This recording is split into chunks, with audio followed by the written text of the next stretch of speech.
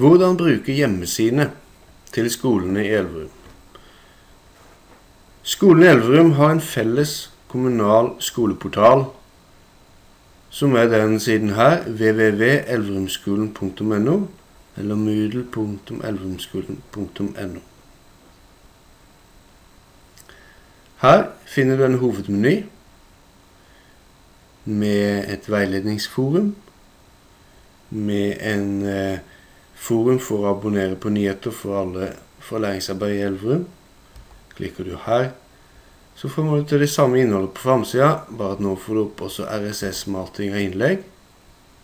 Du kan kopiere den nettadressen her,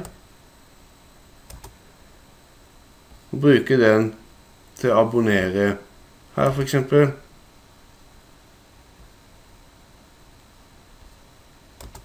Eller på en mobiltelefon eller andre ting.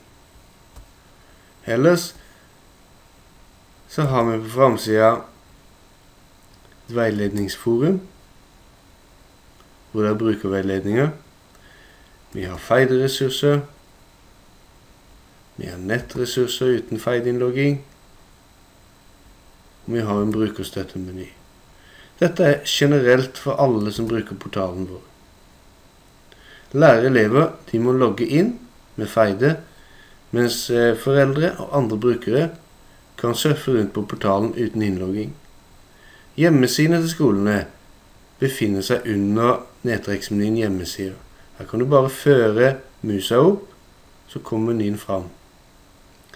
Hver skole har sin hjemmeside etter den samme mal som alle andre. Nå har vi bygd opp hjemmesidene slik at eh, det vises en blogg i midten, nyhetsverktøy i midten. Her får alle sammen opp knappen 'Skriv dette forumet', men det er kun innlogga brukere med redaktørrettighet som kan gjøre det. Snarveien øverst i menyen får deg alltid tilbake til skolens hjemmeside. Ønsker du å abonnere på nyheter fra hjemmesida, så klikker du på nyheter. Og kan også her trykke på RSS-mating av innlegg, og få opp en ny RSS-strøm som du kan bruke i nettleseren på mobilen din eller andre steder. Her er en, en nettside om skolen vår som beskriver skolen. Her er gjerne en mappe med aktuelle dokumenter. Dette kan variere litt fra skole til skole. Her vil typisk års eh, skoleruta ligger, og andre viktige dokumenter. FAU har gjerne egen nettside her, hvor de kan eh, beskrive tjenesten sin. Ellers så vil FAU i stor grad også publisere nyheter i bloggen på framsida. Og her kan man da søke etter innhold. Så søker man på FAU, og det ligger et innhold av FAU, en FAU-nyhet der, så vil du få den fram da. Tilsvarende for SFO. SFO har en egen nettside hvor det står litt om priser og plass osv. Og, og ofte så har skolen en personaloversikt. Det kan variere litt. Grann. Uansett så har alle skolene et, eh, et, en gul liten ramme her med informasjon om skolen. Jeg viser det ved å gå til f.eks. Elverum ungdomsskole. Her har vi da nytteinformasjon, besøksadresse.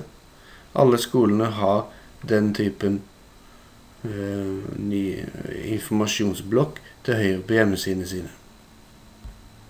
Tilbake til Andebyskolen. Enkelte skoler ønsker å publisere mye bilder og video. Og for de skolene som ønsker det, så er det tilrettelagt et eget bilde- og videoverktøy i portalen. Her er det et lite mediaforum i midten, hvor det kan publiseres eh, videoer fra ting som skjer.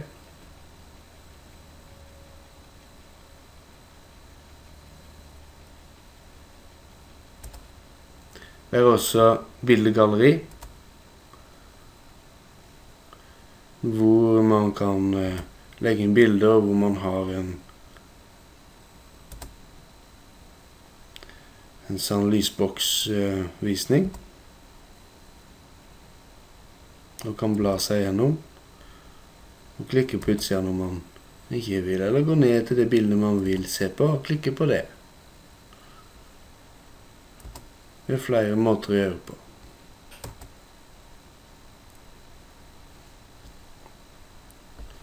For å komme tilbake igjen til Andeby skole sin hovedside, så er det Andeby eh, Andeby Media sin hovedside, altså det mediarommet til Andeby-skolen, der bilder og video ligger, så klikker man på den lenken. Skal man tilbake til Andeby skole, så klikker man på Andeby skole. Tilsvarende for de andre skolene, for de reelle skolene i Elverum, som Frydenlund, Sørbakken osv.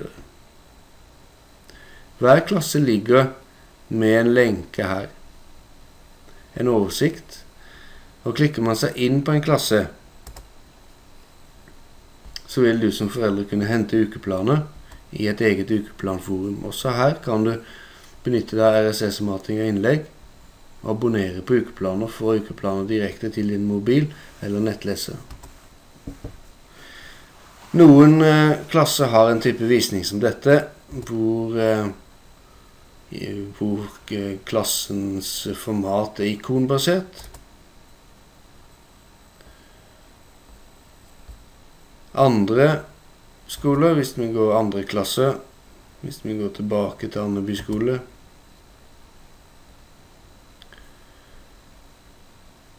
kan ha strukturer som er emnebasert, hvor man klikker seg på et emne for å vite, se hva de driver med på skolen nå. Også her får du ukeplaner distribuert i forum på en måte som gjør at du kan abonnere på det.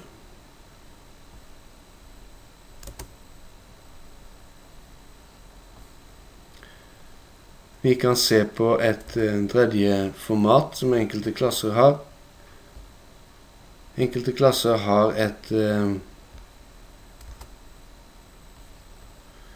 Stad Andeby 8. klasse har et bloggformat, et sosialt format for styring av aktivitetene sine, med fagrom som, under, som underordna kurs, underordna klasserom. For du som foreldre så forholder du deg i utgangspunktet til nyhetene for Andeby for skolen din, og du forholder deg til ukeplaner hos klassen.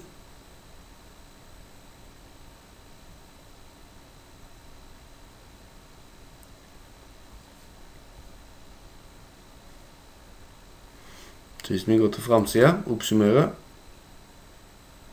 Her er generell informasjon om skolesektoren i Elverum.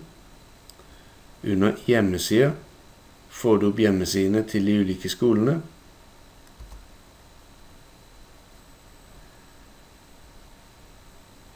Under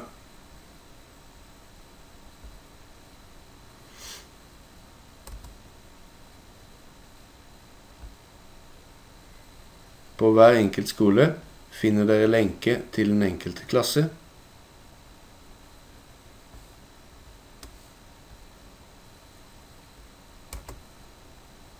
Hos den enkelte klasse kan du abonnere på ukeplaner og info fra oppslagstavle.